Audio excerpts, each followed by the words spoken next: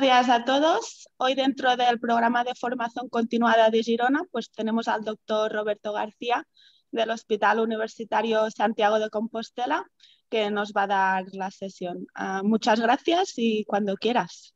Eh, pues muchas gracias por vuestra invitación. Siempre es un placer volver física, sobre todo, o mentalmente a Girona. Y bueno, vamos a hablar de, de un tema que a mí me apasiona, que es el reto. Eh, indicaros que este es mi correo, volverá a salir al final y si alguien quiere el PDF de la presentación para repasar muchos conceptos que pueden surgir o mucha bibliografía, pues así es. Voy a cortar el vídeo para que nos centremos un poco en las diapositivas y luego volveremos eh, con el vídeo. ¿no? Y realmente hay una cosa que, es muy importante, que me decía mi maestro. Eh, la radiología debe ser capaz de dar respuesta a las grandes cuestiones clínicas. Es decir, la radiología es una una especialidad clínica. Tenemos que centrarnos en los datos, eh, en la anatomía que es necesaria para la toma de decisiones. Y cuando uno piensa en una cuestión como el recto, eh, pues tiene que pensar primero eh, qué pasa cuando un cirujano entra a operar. Bueno, pues lo que ve un cirujano cuando entra a operar son cosas como esta. mapas anatómicos como la tenia, la tenia que tiene el sigma y que no tiene el recto, ve los, paquetes vasculares, las, arterias rectales, aquí ligada a la mesentérica inferior, ve la reflexión peritoneal, y estos son los marcos anatómicos sobre los cuales se meten los compañeros que van a ir a, la terapia final muchas veces en el reto que es, eh, que es la cirugía. Y nosotros, como gente de la imagen, debemos intentar aportar pues, un GPS preoperatorio, un mapa de ruta sobre eh, qué van a encontrar nuestros compañeros cuando entren a esta visión directa un poco del tumor. Y desde luego la, resonancia como principal elemento de esta edificación de un cáncer de recto sí que es capaz de aportar gran parte, gran parte de estos elementos anatómicos orientativos que precisan los clínicos para ser capaces de hacer su, abordaje. ¿no? Pero eh, hay cosas curiosas. Eh, si hablamos de recto, lo importante saber, sería saber cómo definimos el recto. Y como hablábamos antes de empezar la charla, pues eh, cuando uno va a un comité multidisciplinar, tiene que tener en cuenta las distintas ideas, sensibilidades y necesidades de ese comité. Y curiosamente, cuando nos ponemos a pensar qué es el recto, su definición varía enormemente según qué especialidad ejerzamos. Por ejemplo, para un radioterapeuta es muy importante la línea entre el promontorio y la sínfisis del pubis, porque sabrá que si radia aquí es fácil que no haya asas de intestino delgado metidas en medio que le interfieran y que pueda dar una enteritis por toxicidad.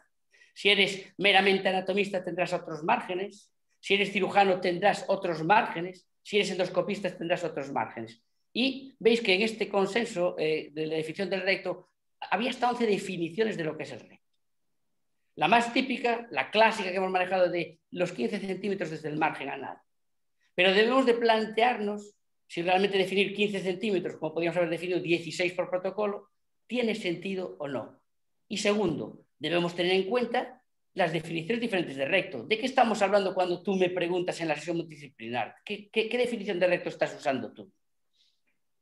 Entonces, esto ha sido objeto de, de múltiples reflexiones y volviendo a la diapositiva anatómica quirúrgica, pues nosotros tendríamos que tener claro exactamente dónde está esa transición entre el recto y el sigma, porque realmente el sigma y el recto tienen un abordaje oncológico diferente. El recto ofrece unas oportunidades y el sigma se trata un poco más como cualquier otra parte del colon. Entonces está el concepto de la unión recto-sigmoidea, el sigmoid take-off que dicen los americanos o los, sajones, que es muy importante de considerar.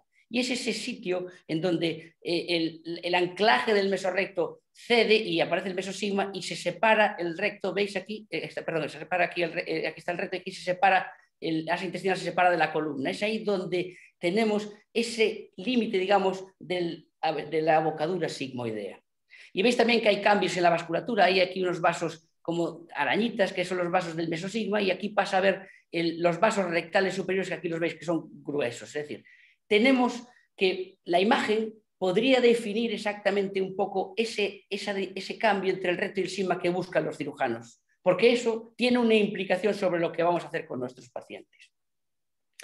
Veis aquí que según esto tendríamos los que están por encima de la bocadura sigmoidea, que serían tumores sigmoideos, los que están sobre la bocadura sigmoidea serían tumores en la unión recto-sigmoidea, y los tumores por encima de la reflexión peritoneal, otro marco anatómico muy importante, y hasta la eh, simoidea serían los del recto superior. Y veis que aquí no se cumple nada eso de los 5, 5, 5 que clásicamente hemos manejado. Intentamos, por lo tanto, acercarnos más al concepto de GPS que necesitan nuestros compañeros de cirugía. Pero ya hemos definido por arriba un poco lo que es el recto, pero ahora tenemos que definir por abajo qué es el recto. Y curiosamente, una vez más, pues eh, no lo tenemos tan claro. Realmente, una porción del recto inferior está dentro del canal anal. Y esto nos desconcierta. Vamos a ver cómo. El canal anal contiene el recto. Entonces, ¿cómo defino lo que es recto y lo que es canal anal? Pues fijaros, si tú eres un cirujano, tendrías que entre el borde superior del pubo rectalis y la parte, eh, eh, eh, el, borde inferior del esfínter externo, eso sería el canal anal quirúrgico. El canal anatómico se definiría de otro modo y acabaría en la línea dentada. Obviamente nosotros con la imagen no somos capaces de definir esa línea dentada. Entonces no podríamos definir exactamente ese canal anatómico, pero sí que somos perfectamente capaces de definir ese canal quirúrgico, lo que necesitan nuestros compañeros de cirugía. Y fijaros, otro detalle importantísimo. Si tú me preguntas, ¿esto qué es? ¿Un cáncer de recto inferior que invade el canal anal o un cáncer de canal anal que invade el recto inferior? Pues realmente la clave, que es muy importante, es esto, la histología, adenocarcinoma. Sabemos que si es un adenocarcinoma es de recto inferior y si es un carcinoma escamoso es un canal anal. Y eso va a cambiar totalmente nuestro modo de estadificar. No es lo mismo una estadificación de un canal anal que de un recto inferior. O sea, que veis que tenemos que ir conociendo elementos, elementos técnicos quirúrgicos, elementos anatómicos, elementos de definición de si el tumor es de recto o de canal anal en base a la histología para poder hacer bien nuestro trabajo. Es muy importante tener estos conceptos. Y es muy importante también tener un concepto funcional y anatómico básico actualmente en el cáncer recto, que es el mesorrecto. El mesorrecto es una unidad anatómica funcional en la cual está embebida el recto.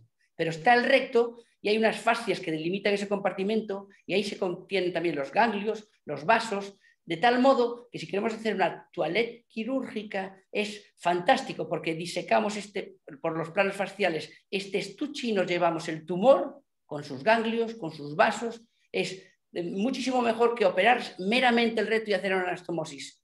Esto lo hizo Richard Hill y cambió radicalmente el abordaje del cáncer reto, cambió radicalmente la probabilidad de recaída local de los pacientes y el pronóstico de los pacientes. Entonces es muy importante, y esto es lo que persiguen nuestros compañeros de cirugía y los patólogos, tener este, este claro marco del mesorrecto, aquí eh, la, fascia teñida del mesorrecto, veis los cortes en los cuales correlacionamos nuestra anatomía radiológica con estos cortes eh, anatómico-patológicos, y es un poco lo que tenemos que buscar en nuestro, eh, en nuestro comité oncológico, ser capaces de transmitir esto.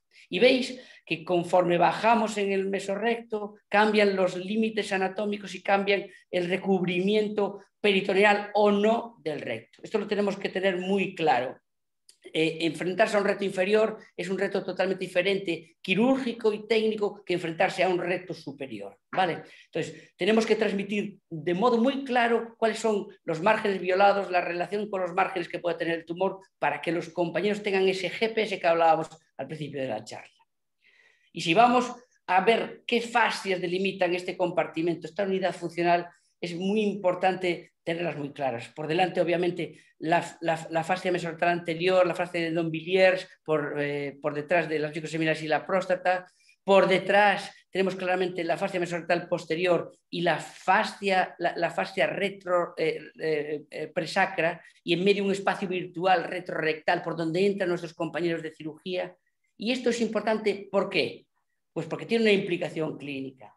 Fijaros, si nosotros informamos que aquí hay una adenopatía pegada casi al promontorio, pero no decimos que está por detrás de la fascia, es decir, que al hacer la excisión mesorrectal total la van a dejar ahí los compañeros de cirugía, le creamos un problema muy serio a los pacientes. Del mismo modo, a nadie le gusta entrar al espacio presacro, a ningún cirujano le gusta entrar al espacio presacro. ¿Por qué? Porque veis que aquí hay estas venas prominentes, las venas presacras, que eh, tienen tendencia a sangrar mucho y a veces se complica mucho la cirugía si el tumor invade este espacio presacro y tienen que entrar ahí los compañeros de cirugía a intentar resecar tumor.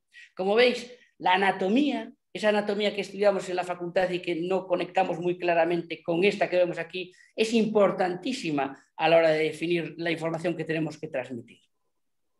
¿Y es importante esta información? Pues importantísima. Fijaros, más importante que decir si el tumor invade 5 o 10 milímetros fuera del asa, como es este caso, es tener claro que aquí la cercanía del margen de resección de esa fascia está totalmente en riesgo invadida por este tumor que se extiende, aunque no sea mucho, fuera del asa. ¿Veis que los márgenes anatómicos tienen una influencia diferente a un nivel que otro? ¿Por qué? Porque está lo que se llama distancia a la fascia mesorrectal. Y sabemos que si el tumor está en, un milímetro menos de esa fascia mesorrectal, vamos a tener un margen en riesgo o un margen invadido en la anatomía patológica. O sea, que veis que sois capaces de decirle a nuestros compañeros de cirugía, podemos ir a cirugía directamente o no podemos ir a cirugía directamente en un momento dado, en base a este elemento. Obviamente la definición de, si podemos a cirugía no hay otros elementos, un T3C no es de cirugía directa, pero veis que no es tan importante solo cuánto invade el T, el T exacto, sino la relación con otros elementos anatómicos con la fascia mesorrectal. O sea que ese margen de resección teórico que va a usar el cirujano es importantísimo. Veis que este tumor posteriormente, aquí, invade la fascia presacra. Ojo, este es un, una cirugía mucho más compleja, esto no es una cirugía directa. Los compañeros de cirugía tienen que tener esta información. ¿Veis que en este tumor mucinoso, si no te das cuenta que es un tumor mucinoso, no te das cuenta de que 360 grados del margen mesorrectal están en riesgo, están en contacto con el moco del tumor? Y aquí claramente veis que la fase mesorrectal está invadida por, por, el tumor. Todo esto marca lo que vamos a hacer, marca la necesidad de neoadyuvancia, marca la cirugía que pueden hacer nuestros compañeros de, la especialidad del comité. Pero no solo es el tumor, es decir, es cualquier elemento que pueda contener tumor y la distancia, la fascia. Se habla de que la distancia del primario o de implantes tumorales o de invasión vascular extramural o de ganglios linfáticos que contacten o estén en cercanía menor de un milímetro con la fascia. Sobre los ganglios, una, una consideración. Se ha visto en la literatura que es raro que los ganglios en sí mismos, si, no tienen claros signos de extensión extracapsular, sean causa de un margen eh, invadido en riesgo. Normalmente el tumor estará dentro del ganglio y aunque esté el ganglio al lado, no, no es un elemento. O sea que realmente sed prudentes, decirle, oye, mira, está en contacto con, mi con nuestra fascia un ganglio y ahí tienes oportunidad o no si consideras de, de poder no tener en riesgo la fascia. ¿no? Claramente en este caso, con múltiples implantes, violando o, contactando con la fascia, pues no hay duda de que aquí no hay fascia libre y que los márgenes quirúrgicos están en riesgo. Y veíamos antes en las imágenes anatómicas la reflexión peritoneal. La reflexión peritoneal es fundamental. ¿Por qué? Porque que el tumor esté por encima o por debajo cambia muchísimo en la estadificación. ¿Por qué? Porque no existe por debajo de la reflexión peritoneal la categoría T4A, no hay peritoneo en riesgo que pueda ser invadido anterior a un tumor por debajo de la reflexión. Podría haber T4B, pero no T4A. Cambia la técnica quirúrgica, indudablemente, y aumenta el riesgo de ganglios laterales extramesorrectales que podrían quedar si haces una excisión mesorrectal meramente. ¿Vale? O sea que veis que tener el marco anatómico de la reflexión claramente, aquí lo veis, la reflexión que contacta con la cara anterior rectal, se reflexiona sobre el útero, viene, viene, viene y se va a la cara anterior rectal, pues es muy importante. Y aquí en axial veis lo que es el clásico signo de la gaviota, cómo con el peritoneo contacta con la cara anterior rectal. Y este, este marco anatómico es fundamental de establecer. ¿Está el tumor por encima o por debajo? Porque fijaros, como comentamos antes, la cobertura peritoneal del tumor cambia a cada nivel. Por encima de, de la reflexión hay una cobertura peritoneal, toda la cara anterior, a nivel de la, reflexión hay el contacto del peritoneo con la cara anterior rectal y por debajo no hay peritoneo, no hay estadificación T4A. Y es importantísimo, es decir, el objetivo de una cirugía es una resección R0 y si tenemos este, esta reflexión invadida por el tumor no vamos a poder tener una R0. Pero si le damos una adyuvancia a nuestros compañeros de de, radioterapia y nuestros compañeros de oncología médica dan una adyuvancia, podemos hacer una regresión tumoral y ver que la reflexión está en contacto con fibrosis, pero no ya aquí con tumor. O sea que veis que tenemos claro que aquí hay un riesgo de, extensión eh, peritoneal y que aquí hemos conseguido que regrese ese, riesgo de, de, extensión peritoneal. Hemos hecho un downstaging de este tumor. Entonces, establecer claramente la localización del tumor en relación a la reflexión es fundamental en nuestro abordaje. De igual modo, algo que no tenemos muy, muy en cuenta nunca los radiólogos, que es la anatomía vascular. Pues eh, delimitar la anatomía podría ser importante, es decir, si tú tienes una persona mayor que tiene unas cólicas izquierdas ateromatosas, si tú te, eh, eh, o tiene una vasculatura ateromatosa, si tú te cargas las cólicas izquierdas, puedes llevar a un fallo de, de anastomosis, puedes llevar a una isquemia del remanente colónico, o sea que hay que tener en cuenta eso porque hay variantes que permiten hacer, una, un clipaje por debajo de esas cólicas y salvar el sigma, salvar eh, e, elementos, la estructura de ciertos elementos. Cuando vamos al comité, estamos viendo múltiples elementos muy importantes, pero tenemos que tener en cuenta cuáles las preguntas clínicas que, tenemos que, de las que hablábamos al principio. ¿no? Y son dos, básicamente. Una, la resecabilidad oncológica, es decir, nuestros compañeros pueden obtener una R0, como estamos planteando, podemos dejar los márgenes libres, podemos dejar no tumor eh, eh, dentro del paciente. Y eso se responde pues, en base a múltiples cuestiones. ¿Dónde están las lesiones, como veíamos? ¿Qué estadio tienen esas lesiones? ¿Qué factores de riesgo existen? O sea, la imagen no solo aporta ese TNM clásico, sino elementos que no están en el TNM. Es decir, la invasión vascular extramural no está en el TNM de un modo recogido a la hora de decir si es estadio 4, estadio 3, pero es un elemento fundamental. Y una resecabilidad funcional, es decir, podemos mantener el complejo esfinteriano en un tumor de reto inferior, porque eso cambia muchísimo la calidad de vida de los pacientes. Y por último, yendo a estrategias muy avanzadas, podríamos hacer un watch and wait, es decir, vemos la respuesta a la adyuvancia y podríamos decir, oye, mira, este paciente tiene un riesgo quirúrgico elevado, podríamos hacer watch and wait y no operarlo, porque ha habido una buena respuesta a, las terapias adyuvantes. Esas son las grandes cuestiones que tiene que resolver el, radiólogo. Y las cuestiones que surgen en un comité clínico pues son múltiples. Por ejemplo, tumores eh, eh, precoces eh, rectales. ¿Hay capacidad de hacer una excisión local, es decir, un TAMIS, por ejemplo? Pues lo que tenemos que tener en cuenta es que la imagen tiene a veces muchas limitaciones a la hora de establecer si tenemos un Kikuchi 1, 2 o 3, 4 o un T2 para definir a veces si un tamiz. Pero si vemos una submucosa íntegra, como en esta lesión polipoidea, pues en el caso de que fuera factible, sí que podríamos hacer un tamiz. Igual que aquí, aquí vemos la, submucosa con esta hiperseñal en T2 en relación al pólipo y pues seguramente aquí sería un candidato factible a poder hacer un tamiz. O sea que muchas veces somos capaces de definir que es factible hacer un abordaje local en vez de un abordaje global y a la vez ver que no hay otros factores en el mesorrecto que impiden ese, tamiz. No hay adenopatías sospechosas, no hay margen en riesgo por cualquier implante que pudiese haber. Tenemos que considerar, eso sí, que somos limitados a veces y a veces tendemos a sobreestadiar y decimos que un pólipo es un T2 cuando a lo mejor era un T1 eh, y no un T2. Pero eso hay que saberlo, es decir, incluso eh, la econdoscopia sobreestadía. Seguramente en estas lesiones polipoideas es mejor que nuestra resonancia, pero también sobreestadía. O sea que tenemos que considerar eso a la hora de humildemente ir al, al comité y no ser maximalistas. Pero cada vez van surgiendo más signos que nos ayudan a decir si esto es así o no es así. Sale ahora recientemente en Radiology pues este signo, cuando si usamos contraste vemos que hay un realce de la submucosa que si está íntegra se mantiene, si está invadida no se mantiene, que nos ayuda con más confianza a decir, mira, esta, la submucosa está íntegra, esto no es un T2, ergo sí que es susceptible a lo mejor de hacer una resección eh, local del tumor. Como veis, son múltiples escenarios, múltiples especialidades a las que tenemos que darle una información que puede influir mucho en lo que hacemos. Y muchas veces nos cargamos de una responsabilidad enorme. Oye, eh, ¿qué tengo? ¿Un T2? ¿Un T3? ¿Hay que darle en adyuvancia o no hay que darle en adyuvancia?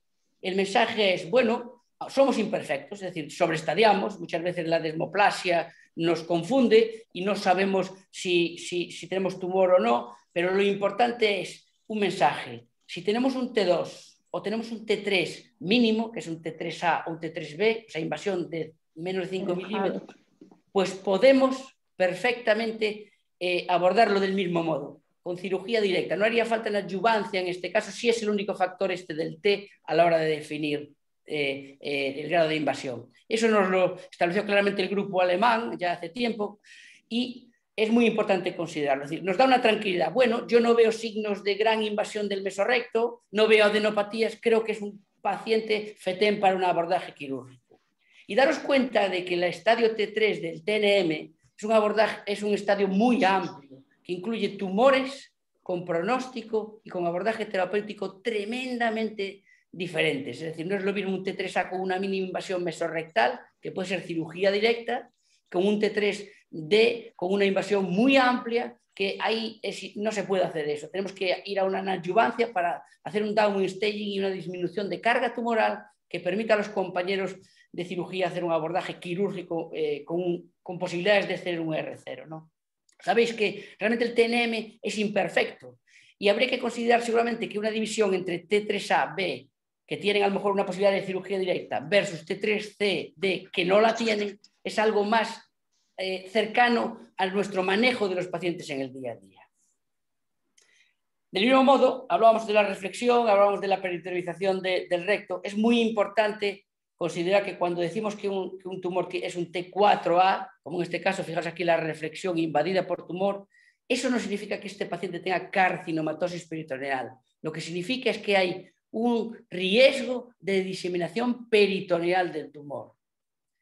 ¿Y por qué es importante tener en cuenta esto? Porque claro, una carcinomatosis peritoneal es un estadio M1. O sea, claro, si tenemos un paciente como este que está invadido la reflexión y tiene siembra a distancia en el peritoneo, veis todo engrosado aquí el peritoneo de la pelvis, pues este sí que es un paciente M1 peritoneal. Pero realmente hablar de T4A no es, no es hablar de carcinomatosis, simplemente hablar de eh, riesgo de diseminación peritoneal. Y esto es algo que tenemos que tener muy claro con los mensajes que transmitimos en el comité. Del mismo modo, cuando uno reflexiona sobre qué ha supuesto el cambio del TNM y qué es un T4B, bueno, pues el T4B en el, en el TNM habla de invasión, claramente, por ejemplo, en esta vejiga, o adhesión a otras estructuras. Y además es que no clarifica exactamente qué es eso de otras estructuras.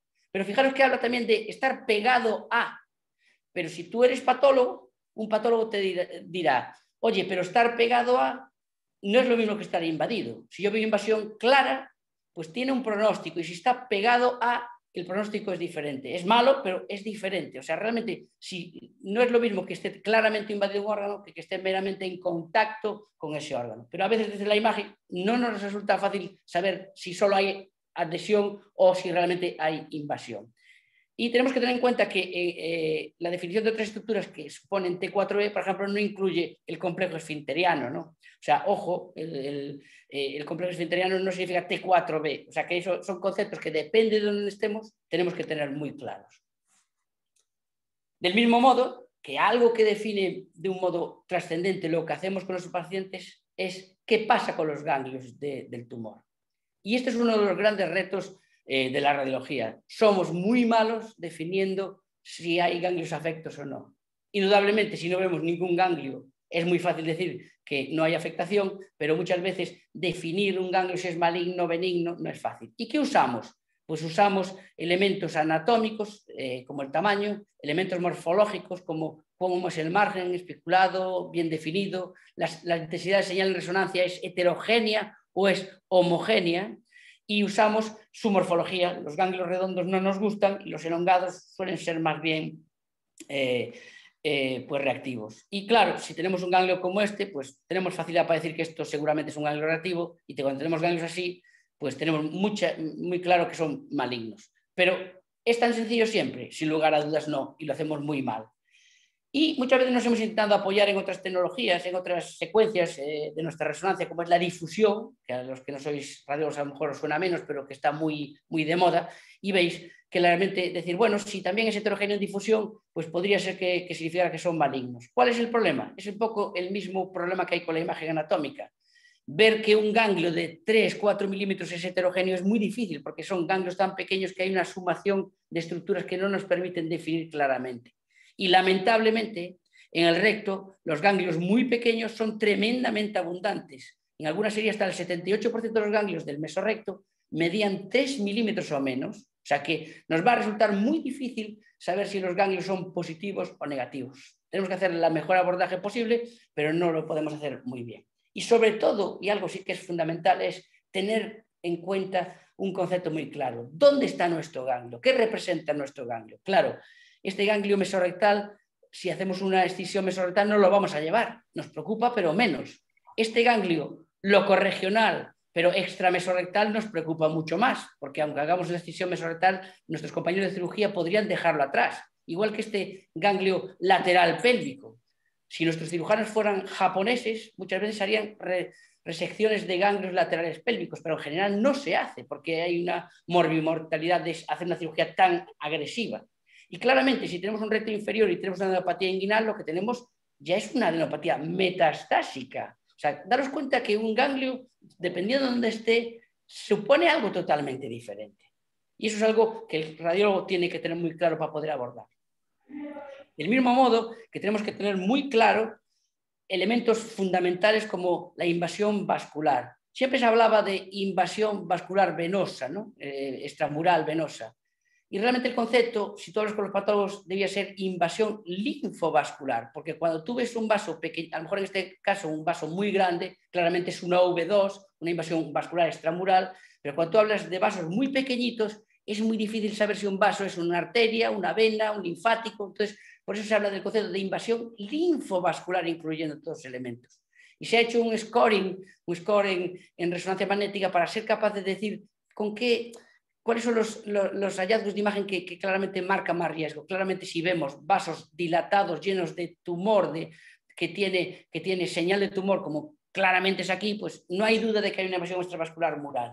Y eso marca muy mal pronóstico, porque es una autopista a las células tumorales y puede pasar como este caso. Teníamos un tumor no muy avanzado, pero con clara invasión vascular, un tumor pequeño, pero eh, eh, que invadía claramente vasos macroscópicos, y veis que ya este paciente tenía adenopatías metastásicas e incluso en el PET este pequeño nodo pulmonar era una metástasis, es decir, marca un pronóstico muy malo de metástasis al debut o de metástasis durante el seguimiento en estos pacientes. La invasión mural, extramural, vascular, linfovascular es un signo de muy mal pronóstico. Y tenemos que tener en cuenta que a veces no, es tan sencillo saber si estamos ante un ganglio, en este caso sí que estamos ante un ganglio, ante un depósito tumoral o ante una invasión vascular extramural, o sea, una invasión del vaso. Pero la ventaja es que todos estos elementos en general tienen la misma relevancia clínica y son tratados del mismo modo. Es decir, si hay un ganglio o un, implante en nuestra fascia, violando nuestro margen, tenemos que tratarlo igual, sea eh, invasión extramular vascular o sea ganglio. Es decir, eso nos da tranquilidad. No somos capaces de definir a veces a qué nos enfrentamos, sea un depósito tumoral o una invasión vascular, pero el tratamiento es un poco el mismo. Y ya un poco terminando estos elementos importantes, veis que cuando nos vamos a otras localizaciones tumorales es importante tener en cuenta qué van a hacer los compañeros. O sea, la relación de nuestro tumor con el puborectalis, con los elevadores, con el complejo esfinteriano marca las posibles abordajes quirúrgicos que van a poder hacer estos compañeros de cirugía. ¿Está libre el espacio interesfintérico? ¿Está invadido el esfínter sí o no? ¿Qué podemos decirle? ¿Está el tumor por encima o por debajo del puborectalis? ¿Hay margen para una anastomosis? Entonces aquí sin lugar a dudas, más que en cualquier otro lado, no es tanto importante el TNM como decir cuál es el, mapa de ruta que tienen que seguir nuestros compañeros de cirugía para abordar a estos tumores. Y veis que aquí claramente hay un margen de musculares libre que nos permitirá eh, ver que el espacio interesfinteriano está libre. Veis que aquí no, que aquí está invadido todo el complejo esfinteriano, el abordaje es totalmente diferente con este tumor mucinoso. Y a veces, incluso, los, radiólogos somos capaces de ser patólogos y mejores patólogos que los propios patólogos. Somos capaces de definir que un tumor es mucinoso. Un tumor desde el punto de vista de la imagen se define como mucinoso cuando tiene esta hiperseñal en T2 muy marcada en más del 50% del tumor. Y a veces cuando haces una biopsia pues no salen elementos mucinosos y el patólogo piensa que no tiene un tumor mucinoso y los clínicos piensan que no tiene un tumor mucinoso y desde el punto de vista de la imagen es claro que hay un tumor mucinoso veis que podemos abordar, el tumor desde múltiples elementos y somos capaces de abordar múltiples cuestiones. Y no hay que confundir eso con un pólipo que tenga líquido secretado dentro de la luz rectal. ¿Veis? No vamos a repasar esto, que todos estos elementos concatenados es lo que define lo que hacen nuestros compañeros con estos tumores. Y veis que marcan el pronóstico de lo que pasa. Este paciente que tenía invasión vascular, que tenía invasión de nuestro margen, aparece en el seguimiento con metástasis mal pronóstico, mal pronóstico que se define. Y por último, tenemos que ver si somos capaces de definir la respuesta tumoral. Hay múltiples patrones de respuesta, fibrosis, elementos tumorales que quedan en medio, eh, eh, cambios mucinosos. A veces no es fácil decir si alguien tiene una respuesta tumoral completa o no, pero somos capaces de decir si alguien tiene una buena respuesta o una mala respuesta. Y buena respuesta incluye tumores que tienen eh, grado de, de regresión 1, 2, entonces, se ha visto que, eh, que, desde el punto de vista de la imagen sí que somos capaces de definir ese grado de reacción 1-2. Veis que este paciente, este paciente ha respondido muy bien y ha reconstituido bastante bien la anatomía normal del asa y hay un poco de fibrosis, y embargo este paciente no ha respondido bien, incluso ha progresado el tumor. Somos capaces de decirlo. Y tenemos elementos para decir que aún sigue habiendo tumor, como la difusión en este caso, que veis que antes había restricción de la difusión en el tumor y posteriormente a la terapia no lo hay. O sea que veis que tenemos desde la imagen la capacidad de hacer ese mapa de ruta post-terapia. Pero debemos tener en cuenta que no somos buenos, no somos buenos para decir que hay exactamente una respuesta completa. Ahora bien, si combinamos una respuesta endoscópica con que el T2 sea normal y, la difusión sea normal, pues eso sí que se acerca mucho a definir respuesta completa patológica. Y es lo que necesitaríamos para esa estrategia que hablábamos de watch and wait. Esa terapia, eh, ese tipo de terapia que se basa en no hacer terapia quirúrgica sobre pacientes porque sabemos que tiene buena respuesta y seguirlos con imagen. Es un abordaje que puede ser factible en pacientes con cirugías complejas y que se puede dar. Y por último, tenemos que tener en cuenta una serie de conceptos. Primero, ¿a quién estudiamos? Pues claro, nos mandaron a este paciente para estidificar y esto parece una catástrofe oncológica y realmente este paciente tiene una inflamación y no tiene un cáncer. O sea que primero, célula, célula, célula. Tenemos que tener en cuenta que el uso de antiespasmolíticos nos viene muy bien porque las asas no se mueven y podemos definir mejor esa anatomía el, relleno rectal con, gel o con tal, bueno, puede ser útil, pero en general no lo hacemos, es una molestia más para el paciente. El uso de contraste intravenoso no es obligatorio, pero puede ayudarte en pequeños tumores o como veíamos antes para definir si es un T2 o un T1. Y desde luego lo que de radiólogos lo que tenéis que hacer es, usar siempre la difusión. O sea, veis que eh, podéis construir un mapa anatómico fantástico para nuestros compañeros clínicos veis que podéis definir elementos de pronóstico eh, definitivamente muy importantes para el manejo del paciente, como es la invasión linfovascular extramural, como es el estatus del, margen de resección, eh, la anatomía en el canal anal para ver qué tipo de cirugía se puede ver. Y la imagen es fundamental en la toma de decisiones de los pacientes del cáncer de recto. Y para eso hay que tener en cuenta todos estos datos clínicos que son relevantes si no los conocemos, no podemos darle el servicio que precisan los pacientes y nuestros compañeros del comité multidisciplinar.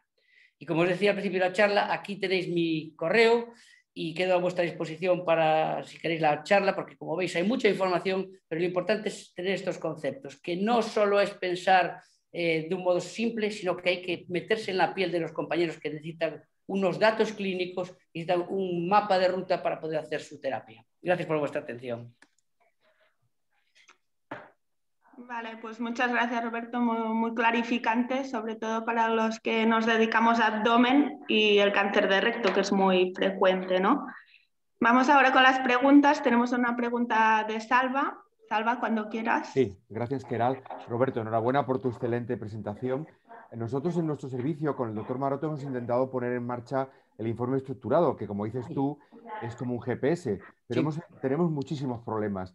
Yo no sé cuál es tu visión del tema, del informe estructurado. ¿Cree que lo has podido hacer, no lo has podido hacer? ¿Qué piensan los radiólogos, los cirujanos, los oncólogos?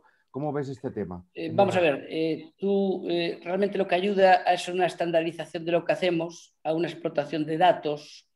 Y es cierto, a veces pues los sistemas informáticos no son tan sencillos de integrar. Pero bueno, tener una plantilla que valga para todo el mundo en los informes, pues yo creo que no es tan complicado, aunque no tengas una plantilla informática clara, pues tienes una definición y donde vas rellenando tú un poco copias, pegas y, y puedes hacer. Yo creo que te ayuda a no olvidarte de nada importante, te ayuda a transmitir de un modo, a lo mejor un poco frío, pero sí de un modo metódico todo aquello que, hace falta.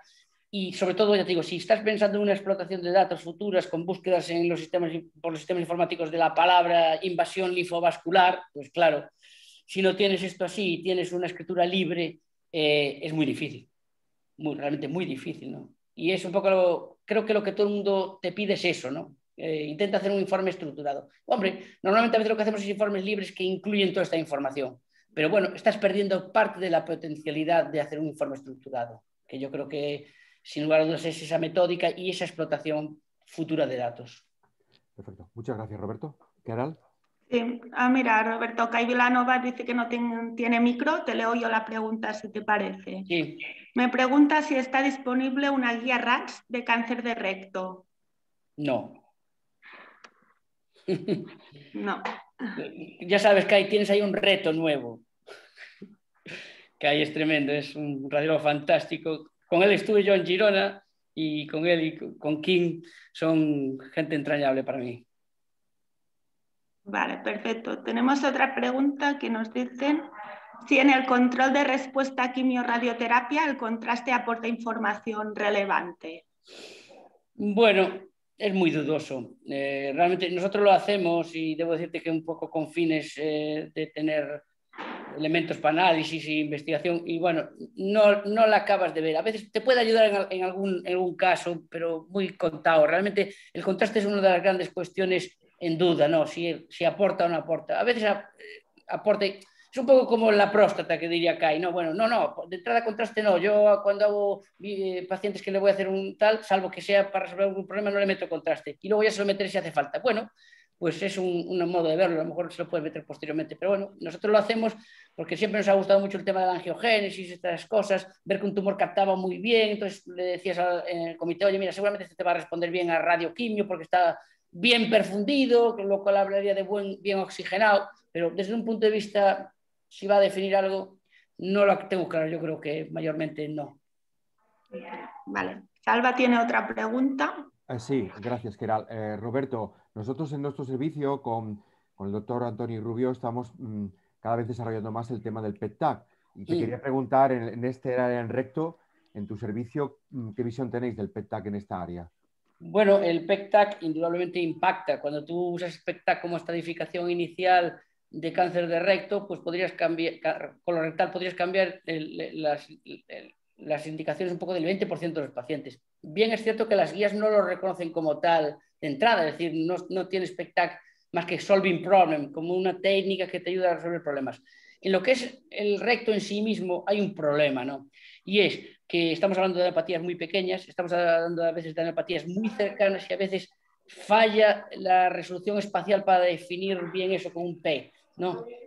Y no tienes los, los, los claramente a veces los elementos anatómicos. A lo mejor si me hablas de un PET-RM, pues podría ser tremendamente útil para muchas cosas. A lo mejor ganglios dudosos, extramesorrectales, podrían claramente quedar definido que son metastásicos y eso cambiar a un abordaje mucho más, más agresivo. Pero de entrada el PET-TAC no, no, está, no está metido como de primera línea en la estadificación. ¿Que cambiaría al, manejo de pacientes?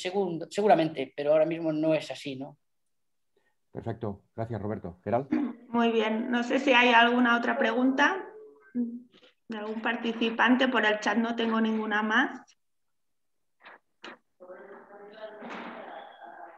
Sí, tenemos otra pregunta. Joan Canalias, ¿quieres preguntarlo tú o te la leo?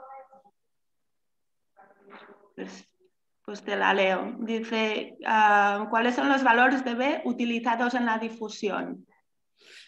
Bueno, vamos a ver, esta es la, esta es la pescadilla de, que se muere la cola siempre de la imagen funcional, ¿no? O sea, el gran problema que tiene la imagen funcional, eh, os explico para los que no son radiólogos, eh, porque había que cirujanos también en la charla, pues es un poco ver la celularidad, la difusión ve la celularidad. Y los valores de B es cuán potenciada en difusión está la imagen. Eh, mira, realmente pues, manejándote sobre B800, B1000 estarías bien, ¿no? O sea, estarías bien. Eh, pero claro, no hay, una, no hay una estandarización, es un poco lo que hablamos, no hay una estandarización de cómo lo hacemos. Así como la próstata en el PIRAS dice, oye, tienes que hacer por lo menos 1400, pues aquí en esto del recto no existe, ¿no? Entonces, eh, la difusión es una herramienta muy útil, pero bueno, tampoco no es una cosa que haya que tomar maximalistamente. Y si tiene un ADC de 0,90 es maravilloso, y si tiene 0,87 es horrible. Es decir, ese es el elemento cuantitativo en el cual la duda cuantitativa con la que nos movemos. Seguramente en el futuro acabaremos haciendo algo más estandarizado, pero a día de hoy es imposible, porque la difusión de una máquina Philips con los mismos B no es lo mismo que la difusión de una Siemens con los mismos B. O sea, porque hay elementos en la construcción de la secuencia que van a hacer que sea un poco diferente. Entonces, yo ya digo, me movería sobre 800.000, es importante ese, ese B, pero no hay que ser maximalista. No cambia nada porque uses 1200 o porque uses 900. O sea, no cambia nada de cara a cómo debes usar la, herramienta, salvo que quieras hacer investigación. Entonces te tienes que ceñir a un protocolo de hacer siempre los mismos bes y del mismo modo. Si no, claro, no te va a valer para nada. Perfecto. Pues Damián Gil tiene una pregunta. Si, la quiere hacer, si no la voy a leer. Pues la leo. Dice, en la estedificación inicial, la difusión, ¿para qué sirve? La esterificación inicial, eh, en general, mm, primero, yo lo uso para que localizar el tumor, hago un, sagital en difusión de tal modo que veo el tumor y hago los cortes perpendiculares a su eje mayor, porque es muy importante hacer eso, cortes que no son eh, puros axiales ni puros sagitales, se, tienen que orientar en función de, cómo está el tumor. Y me vale para eso y me vale pues eh, un poco algunas veces, pero muy pocas, para ayudarme a decir, cuidado, esto que estoy viendo no es tumor, e-, ergo, me quedo tranquilo que ahí, ahí no hay, no hay, no hay, no, no, cambia mi estadio. Pero en general, la estadificación es un valor limitado en la difusión. Como definir un T3 o T4 es a veces limitado. En casos contados, sí, a veces un pólipo, ver que el tallo no tiene ninguna restricción, pues dices, oye, mira, no hay T3 aquí.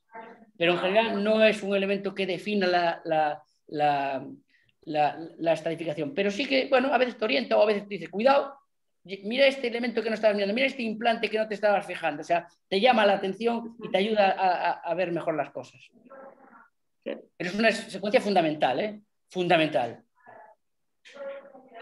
Vale, Salva tiene otra pregunta.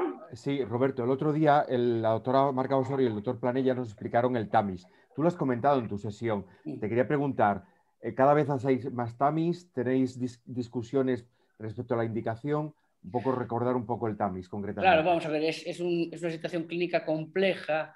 Eh, primero que, claro, tu, GPS les ayuda a decir, mira, ¿dónde está? Es que este tumor está por encima de la reflexión en la cara anterior. Pues claro, ese es un candidato muy malo para un TAMIS porque como le hagas un TAMIS a lo mejor lo perforas al peritoneo. Es decir, tú ya le estás diciendo, cuidado, está en cara anterior, está por encima de la reflexión, mala situación. Luego, hay casos en los cuales, como el que presentaba, pues es claro que pueden hacer un TAMIS, pero hay muchos casos donde desde el punto de vista de la imagen no es tan sencillo decir que se puede hacer un TAMIS. Ahí es donde yo creo que sí que tiene a lo mejor un poco más de sentido la econdoscopia, que lo va a definir, esa estadística lo puede definir un poquito mejor y ese poquito mejor va a ayudar mucho. Pero realmente es un tema muy complicado, ¿eh? un tema complicado que hay que seleccionar muy bien a los pacientes, porque claro, no, no es una masa gigantesca que le haga un TAMIS, no, no, tiene que cumplir una serie de requisitos y un grado de invasión determinado. Ahora, ¿la resonancia es necesaria? Sí, porque incluso un tumor muy, muy, muy precoz puede tener un ganglio metastásico o hay un artículo de, del grupo de Londres que mostraba un tumor pequeñito y, tal, y que tenía un implante tumoral invadiendo un vaso que era un V2. O sea, claro, ese paciente no puede hacerse un TAMIS, hay que ir a otro tipo de cirugía mucho más agresiva.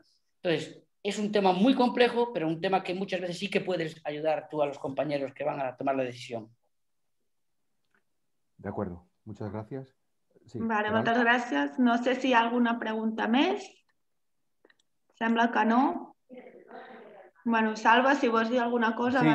Yo creo que solamente para subrayar eh, dos palabras que ha dicho Roberto, multidisciplinaridad y sobre todo aprovechar muy bien los hallazgos que tiene la resonancia con informe estructurado o con plantilla, pero aprovechar bien para, eh, digamos, que dar toda la información que, se necesita para el manejo del paciente y que se tiene que discutir en el comité de tumor.